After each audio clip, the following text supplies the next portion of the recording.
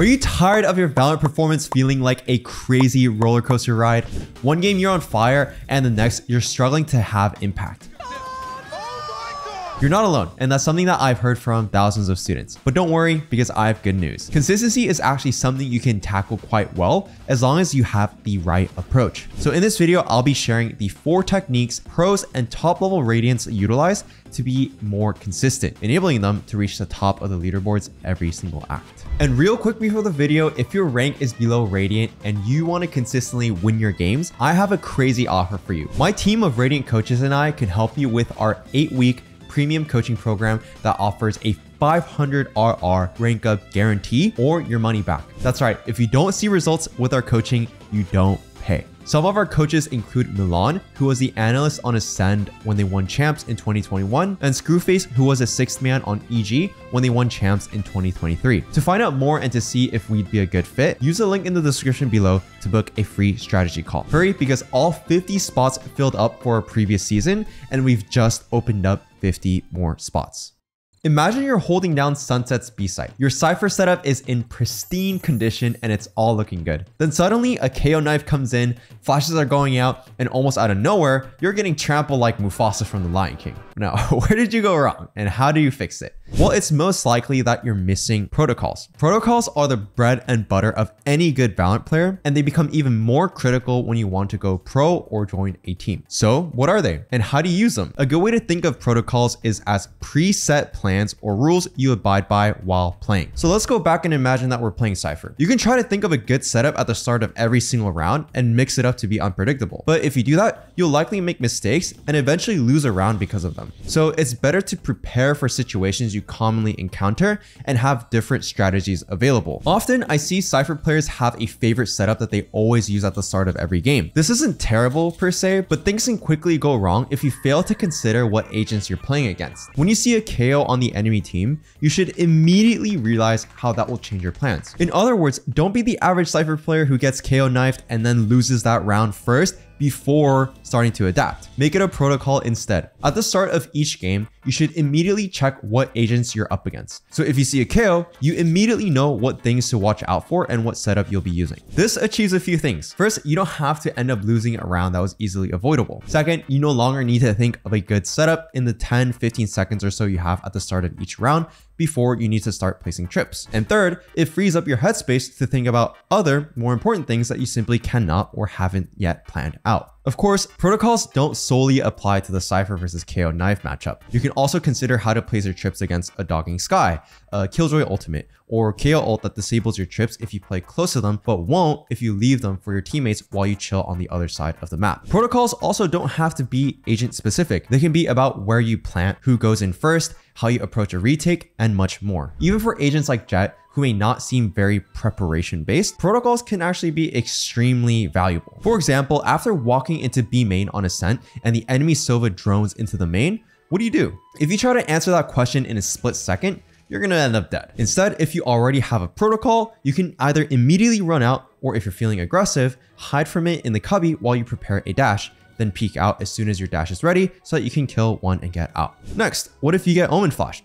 Here again, if you don't have an answer ready within half a second, you're probably already too late. However, if you have a protocol for that scenario, you would likely plan out your play with a potential omen flash in mind. That way you can just move a bit further left while your dash readies so that no one can peek you full blind and then get out of main by pressing E and D at the same time. To summarize this first point, you want to develop protocols for all scenarios you can think of and continually expand upon them. If a protocol fails, reflect on it, and see if there's anything you should change. Of course, pure game sense comes with time, but you can shortcut a lot of the decision-making process by just having good protocols. Now, that being said, just having the right protocols in place does not necessarily guarantee that you'll be invincible to off days. You might still be missing a crucial element, a proper A, B, and C game, as that ensures you have something to fall back on when you're having a bad day and even helps you increase your impact and creativity when you're already performing well. So what's an ABC game, you ask? Well, it starts with recognizing that your performance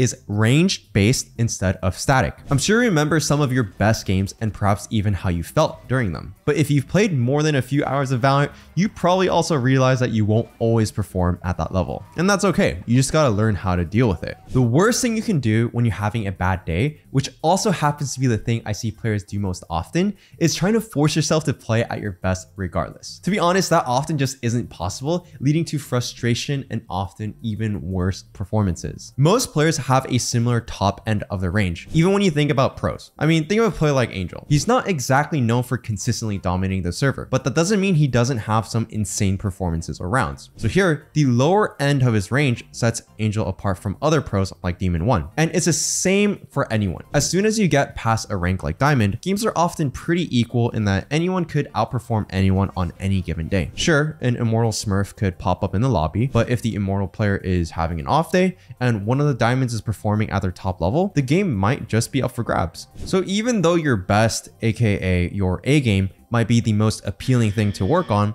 you should actually spend a lot more time focusing on your bad days or your C games if you're looking to be consistent. So how do you do that? Watching back your games, maybe even with a coach, is a great way to get started. Looking back at your game, you can take note of the kind of mistakes you make when you're at your worst and once you're aware of them, you can take steps to avoid these mistakes when you're playing the game. Just to give you an example, I mentioned that many people like to force their best performance when they're playing their worst. And this can often lead to things like dry peeking bad angles, overextending your positioning, and other dumb plays that you know are not smart, but you're doing them anyway because you're in a bad space. Just knowing that dry peeking the Jett with an operator while you're having a bad game isn't enough. I'm sure deep down, you know there's a better way to deal with that op, especially if you spent the last 20 minutes of the game whiffing every single shot imaginable. But yet, you know you've done it and the same goes for me. So why?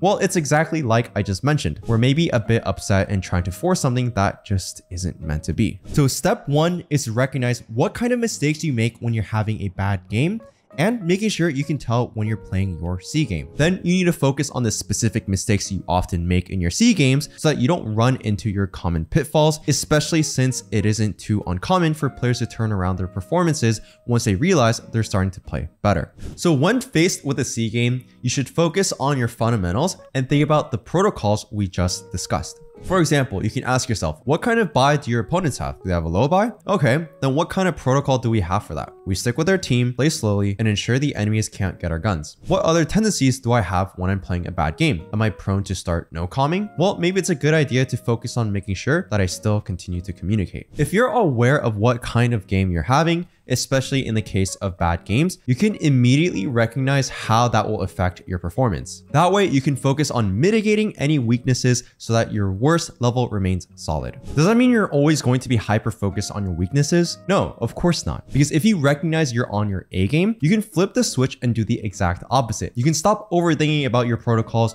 as you're already in the zone. And you just have to allow yourself to do crazy stuff, let your creativity roam free and do whatever comes to mind. If you ever notice you start overdoing things again and your performance is worsening, you can rein yourself back in and start playing more like you would normally, like any average B game. The biggest takeaway here is that you must recognize you're not a robot. Your performance is going to be a range. And if you want to improve the fastest, it's not smart to focus only on the highest end of that range. What makes the largest difference between players is actually how far their lower end makes their performance drop. Okay, before I let you go, there are a few small things I still have to go over quickly. One of them is expectations, more specifically, setting realistic ones when it comes to teammates. I know it often seems like your teammates are full-time yappers the way they're playing the game, but that's also where you kind of have to set your expectations. And I get it. For many people, having bad, toxic, or annoying teammates make them want to stop trying altogether. But if you want to be consistent, you just can't do that. Of course, if you only ever play with the same five stack, it kind of makes sense to expect your teammates to do certain things as you build up experience together. But in solo or duo queue ranked, you have to be able to adapt to whatever circumstances you're given, and you shouldn't try to push your teammates to play a certain style, since more likely than not, they're not comfortable with it. It's essential to realize that if someone's roughly in the same rank as you, they have to have at least a couple of strengths, and they might not be the same as yours. So don't be the average toxic ranked IGL that expects everyone to play the way you want to play the game. And if your style doesn't match that of your teammates, don't give up and just do your best play with the cards you're dealt with. And finally, I can't in good faith not at least mention things like tilt queuing. If you ever feel that you need to play one or a few more games to quote unquote get your RR back, it's best to just stop right there. If that's how you're thinking, you're probably about to dive into a guaranteed C game and anything you feel are hindering you from winning are going to set you right off. So unless you're trying to be a literal Minecraft creeper blowing up both your chances of winning and your mood, it's best to take a break when you clearly need one. All right, that should wrap it up. And if you enjoyed this video, please like, subscribe, and ring that notification bell so you don't miss any of our future uploads. Thanks for watching, and I'll see you in the next one.